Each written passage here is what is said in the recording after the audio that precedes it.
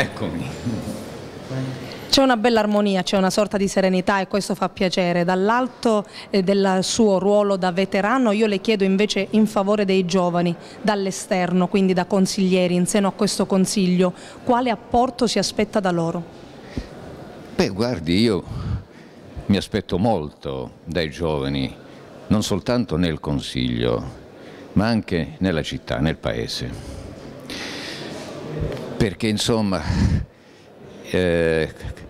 io credo che bisogna preparare un gruppo dirigente nuovo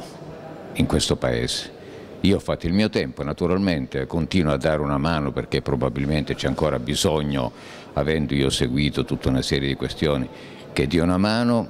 ma bisogna preparare qui a Roccella un nuovo gruppo dirigente perché ancora in una maniera o nell'altra, come dire, questo Paese ha una presenza ancora forte, se non predominante, del gruppo dirigente che si è costituito nei partiti eh, negli anni, nei decenni passati. Non soltanto c'è bisogno di questo,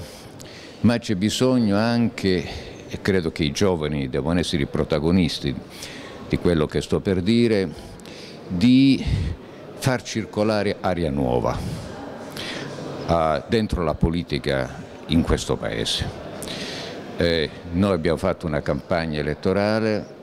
che metteva in rilievo eh, i limiti straordinari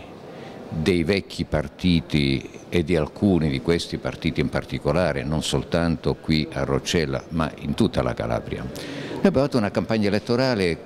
che in qualche maniera definire, eh, definire rivoluzionaria, una nuova politica per una nuova città, non si può avere una nuova città diversa